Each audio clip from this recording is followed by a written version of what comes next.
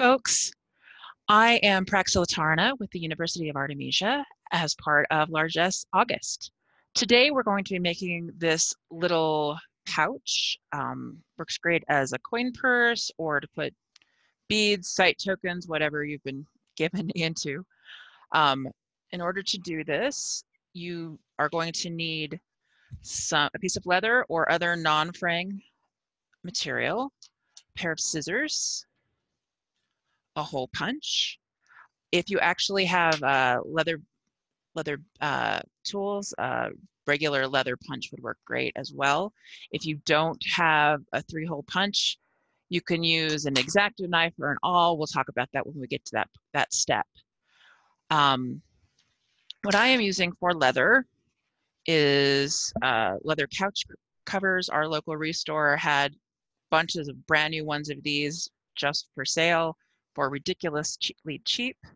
I've also used um, leather jackets, leather skirts, other leather articles of clothing. You can also go to your local Tandy and pick up a side of lightweight fabric. You want to use um, upholstery weight or garment weight for this project because the heavier weights are not going to draw up into a drawstring like we want them to. So, um, oh, other thing you will need is some kind of circular something or other. I'm using a dish. You could use any number of things. Um, it's going to depend on the size that you want to make. Do keep in mind that these are going to be drawn up. So the piece that you start with is going to need to be considerably larger than the piece you end with. I've done very small ones of these. We did them as site tokens at one of our events not too long ago. Um, I wouldn't go too small because then you can't get much into them but uh, this particular pouch was made out of a circle this size, which happens to be the size of my the size of my plate. All right. So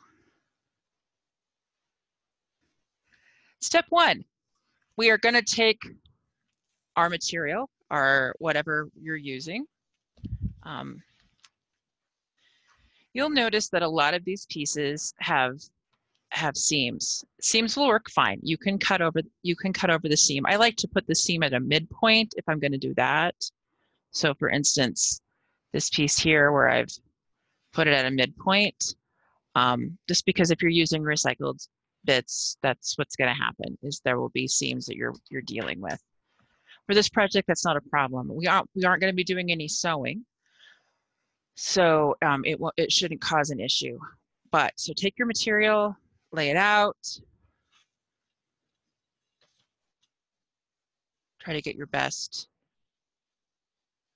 your, your best layout. And then you're going to uh, draw your circle. In this case, because I have a light back, I would obviously probably want to do it on the back. Draw my circle. Okay, you have several options. Because we are using such a lightweight leather, a garment weight or an upholstery weight, you can use regular scissors. They will cut fine.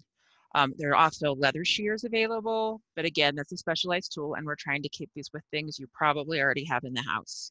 You can use an X-Acto knife. You could use an utility knife, whatever you want to do that way to cut it out. In this case, like I said, I'm just going to use scissors and cut out my circle. Okay. Next step. Once my circle is cut out, what I'm going to do is I'm going to put holes all the way around. These are lacing holes. This is what we're going to put our drawstring through. This is this is a no sew. Well, the only sewing that's going to happen is the lace in and out of these holes. You do want to do an even number of holes um, so that your so that your lace has is out both sides together. So what I'm going to do is just take my my hole punch and punch a hole. Now again, you don't have to have a hole punch and under normal circumstances, um, I, I actually normally, I normally use this. Uh, most people aren't going to have this in their house. So that's, that's not something that most people are going to be using. Um, you could also use something like an awl to just poke your holes. Additionally, you could also just cut them with a, a knife. For instance, um, here's an example where you can see these are the these are the punched holes. I've also done little vertical cuts that could also be laced through, just done with a utility knife. So you have lots of options um, for how to cut your holes, but you want an even number of them. Okay, the next thing we're going to address is the lacing. We're going to make our lacing. This is done with scrap leather. Um, you could certainly use ribbon or you could use yarn or you could use any number of things. We are going to make our leather lace just because it's one more skill we can we can gain. Okay, so we're going to start with a circle. And you're going, why are we starting with a circle? we're starting with a circle because while you can certainly cut leather lacing um, from one side to another side, that limits you by the, by the size of the piece you have. Whereas if you start with a circle, you can use a very small piece of fabric, of, of leather, to create a great deal of lacing. So what we'll do is we're just gonna start cutting around. You could mark this if you wanted to, so that you made it even which would be awesome, but I didn't think ahead. But anyway, you're going to keep cutting around and around and around in a spiral all the way to the center. And that will give you quite a length of lacing for a small piece of leather rather than trying to find a long straight strip that you can cut. So you'll keep cutting that, then you kind of pull it a little bit, and you have a great piece of leather lace. So the next thing we're gonna do is now that we have all of our holes all the way around, an even number of holes, we are gonna start lacing them. We're going to go from the top through. You could put a, a bodkin or uh, a large eye needle to do this, or you can just use your fingers. It should be okay. But you're going to go in and out all the way around the piece. So once you have gone all the way around the piece, you can then draw it up. Now, so there's, a, there's your bag. Now you can be done. You could just tie a little knot and have your have your piece.